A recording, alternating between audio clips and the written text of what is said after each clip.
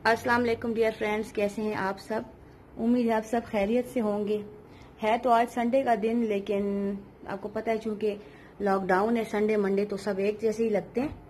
तो आज मैंने सोचा कि अपने फ़र्स्ट फ्लोर की करूँगी सफ़ाई, और आपको बताऊँगी कि मैं किस तरीके से अपनी घर को, अपनी कारपेट को साफ़ रखती हूँ। चलिए अब ऊपर चढ़ना शुरू करते हैं।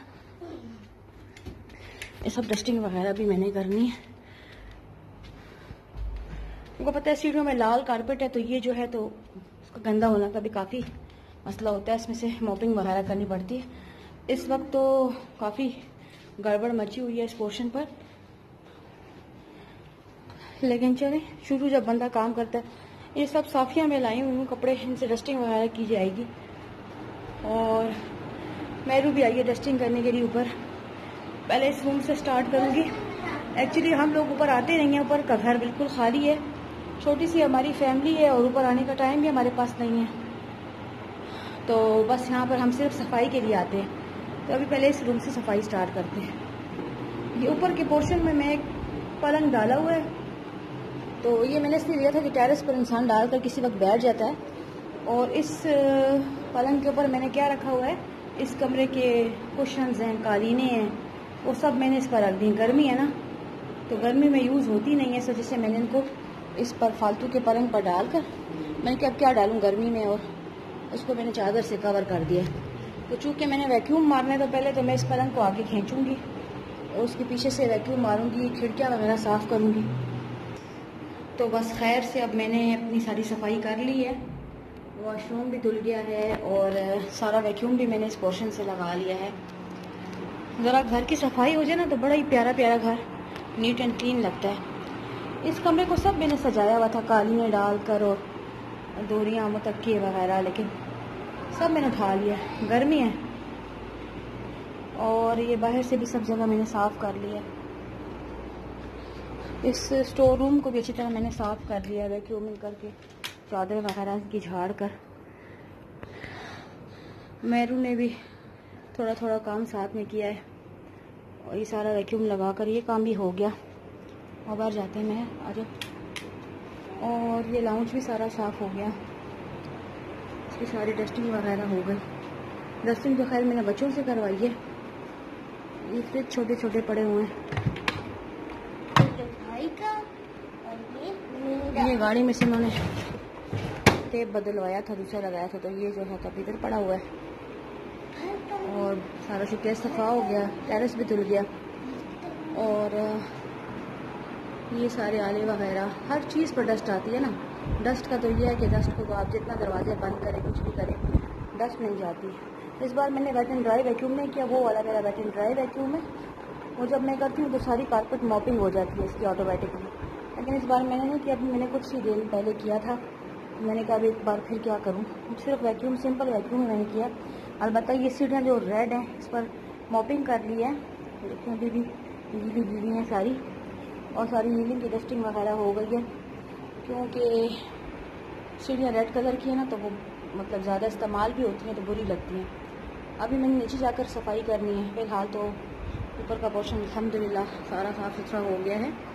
इसके बाद अब नीचे की सफ़ाई, उसके बाद फिर खाना वाना। तो आज मली बाबा ने इतवार के दिन आते हैं संडे को तो उन्होंने काफ़ी कांट छांट किया, लान की। मेरे ख्याल में मशीन भी मारी है ग्रास पर।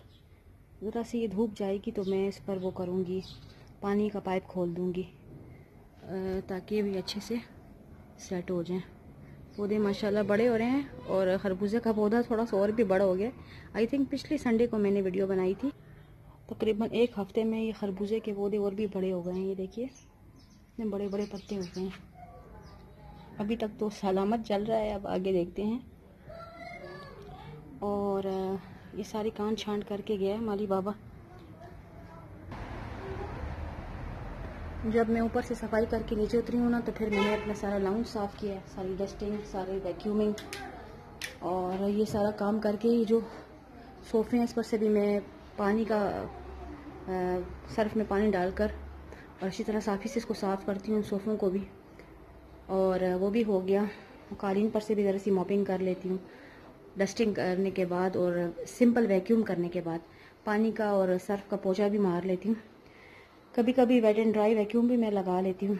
इस तरह ये कारपेट ये घर जो है इतने अरसे तक साफ़ रहते हैं वरना तो आपको पता है कि इस तरह इतने जल्द इतने अरसे तक ये चीज़ें साफ़ रह नहीं सकती। तो ये शोकेस है इसमें मेरे बड़े प्यारे माशाल्लाह एंटीक बर्तन पड़े हुए हैं। एक दिन मैं आपको इनका रिव्यू दूँगी। और इस जगह का टीवी जो है तो वो बेसमेंट में पड़ा है बच, बच्चे बेसमेंट में ले गए थे। वहाँ पर जाकर वो नेट पर फ़िल्में मिल लगा कर देख लेते हैं। बच्चों की कार्टून फ़िल्म वगैरह। ड्राइंग रूम भी मैं अच्छी तरह साफ़ कर चुकी हूँ, सारी डस्टिंग। ड्राइंग रूम में एक्चुअली वो होती है ना डेकोरेशन पीसेस वगैरह ज़्यादा होते हैं। तो इस वजह से इनकी डस्टिंग पर लग जाता है थोड़ा टाइम तो बस वो वो सारा काम भी हो गया, अल्हम्दुलिल्लाह। और बस अब खाना बनाना है। मैं कह रही हूँ शिमला मिर्च और कीमा में बना लूँ। अब उस तरफ़ रुख करते हैं किचन में। और ये तीनों बच्चे मेरे बैठ कर रोल्स बना रहे हैं। खुद ही इन्होंने ये काटी हैं गाजरें सब्ज़ियाँ। बड़ी प्यारी प्यारी ये देखिए। और ये चिकन का कीमा लिया इन्होंने हाफ़ के जी। और उस पर बड़े अच्छे से मेरी बेटी ने ये बनाया है रोल। आ, मतलब इसका बैटर बनाया है और अब ये तीनों मिलकर अपनी अपनी डिज़ाइन के रोल बना रहे हैं। मेरे बेटे का रोल तो बहुत ही फैंटेस्टिक है, माशाल्लाह। पता नहीं इसके साथ इसको बंद कैसे करेगा? ये भी एक साइंस है। और मेहर भी कुछ कर रही है। पता नहीं क्यों खराब कर रहे हैं पट्टियाँ मुझे समझ नहीं आ रही। इस तरह बंद नहीं होंगे अच्छा? और ये लगे हुए हैं और जो जो जिस तरीके का रोल बनाएगा, खुद ही खाएगा भी ये। खाने की इनकी ज़िम्मेदारी है। और खाने में आज बन रहा है शिमला मिर्च और कीमा। कीमा जो है बनने मैंने रख दिया है।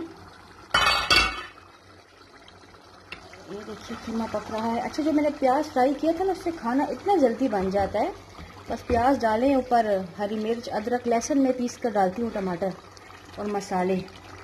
अभी इतना, फिर ऊपर मैंने कीमा डाल दिया। और बस ये कीमा अच्छी तरह पक जाएगा। तो मैं ऊपर शिमला मिर्च डाल दूँगी। बड़ी आसानी हो जाती है। गर्मी के लिए तो अगर हम एक दिन की सख्ती कर लें मतलब दो तीन घंटे की, प्याज फ्राई करके रख लें तो तकरीबन एक महीने तक हम लोग अच्छा फील करेंगे।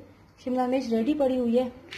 जो ये कीमा अच्छी तरह भून जाएगा तो मैं शिमला मिर्च इसमें डाल दूँगी। तो बस ये थी आज मेरे संडे की एक मसरूफ़ सी रूटीन सफ़ाई और घर के काम और अभी बर्तन वगैरह धोकर फारग हुई हूँ। और ये देखिए मिर्चों के पौधे हैं। मिर्चों के इतने प्यारे फूल निकल आए हैं। तो मेरे ख्याल में अब मिर्चें भी अनकरीब निकल ही आएँगी। तो इनको खूब पेट भर के पानी देना पड़ता है इनको। जैसे हम खुराक खाते हैं, इसी तरह इनको पानी सनलाइट वगैरह की ज़रूरत होती है। टमाटर का पौधा देखो थोड़ा थोड़ा ख़राब भी होने लगा है। तो इनका मैं भर भर के इनको मैं पानी दूँगी इन तो ये माशाल्लाह से हरे भरे हो जाएँगे। दो बैंगन हमने उतार लिए थे, ये देखिए। ये लगा हुआ है अभी। और एक और भी था। किधर गया? ये। देखिए। मैं आपको बताती हूँ। ये देखिए, कितना खूबसूरत है। चार थे, दो हमने उतार लिए थे, दो लगे हुए हैं। तो बस इन पौधों का भी ख्याल करना पड़ता है। ताजगी भी देते हैं और अच्छे भी लगते हैं। मुझे तो पौधे बहुत ही पसंद है। टमाटो। येलो हो गया इनशाला रेड भी हो जाएगा. तो आपको मेरी आज की रूटीन कैसी लगी? ज़रूर कमेंट्स करके मुझे बताइएगा. इनशाला अगली वीडियो में फिर आपके साथ मिलूँगी. तब तक के लिए अल्लाह हाफिज़.